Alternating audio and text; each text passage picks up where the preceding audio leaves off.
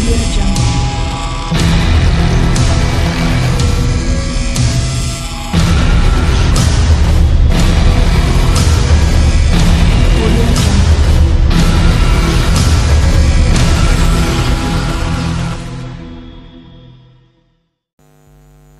Ciao a tutti e benvenuti in un nuovo video di Mite Mister SCP.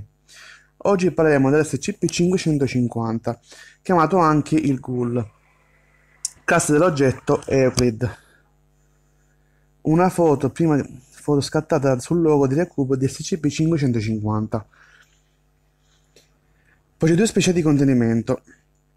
SCP-550 deve essere contenuto in una cella di contenimento per umanoidi di eh, dimensioni normali e provvisto di un cadavere umano ogni due settimane.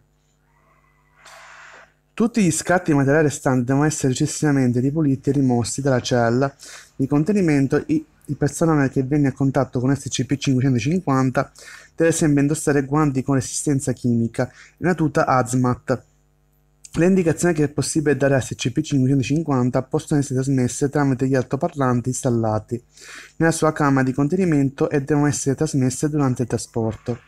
I test della manutenzione. Descrizione: SCP-550 è una figura umanoide composta da truccioli di legno e Facinus Excelsior, fascino europeo, alta 2,1 metri ed ha peso di 70 kg. SCP-550 ricorda in modo molto marcato un maschio umano effetto da atrofia muscolare in stadio avanzato, anche se è evidente la mancanza di ogni altro organo interno ed esterno. Generalmente SCP-550 asseconda le richieste di esseri umani, nonostante sia in grado di eseguire solo semplici comandi.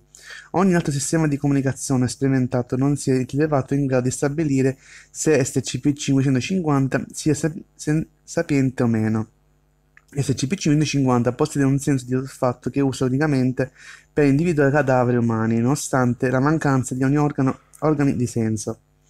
SCP-550 è attirato principalmente da cadaveri nelle fasi iniziali di decomposizione. Nel caso non ve ne sia uno degli immediati paraggi, esso tenterà di localizzarne uno in modo autonomo tramite locomozione bipede.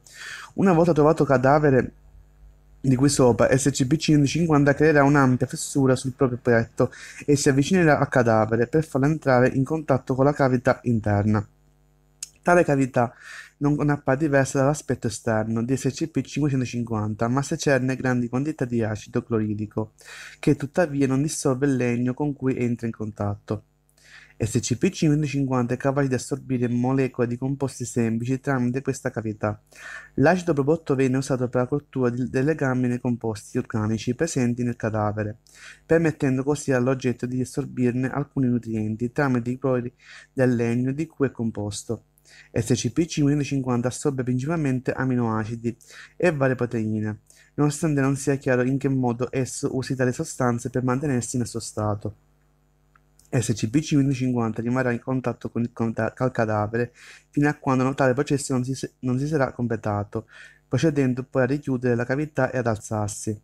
SCP-550 rilascerà quindi una serie di materiali di scarto composti principalmente da brandare di epidermide, articoli d'abbigliamento se presenti sul cadavere, e acidi gastrici, se privato di cadaveri per diversi giorni, SCP-550 entrerà in uno stato dormiente, fino a quando un nuovo cadavere non sarà disponibile, senza muoversi né interagire in alcun modo fino ad allora.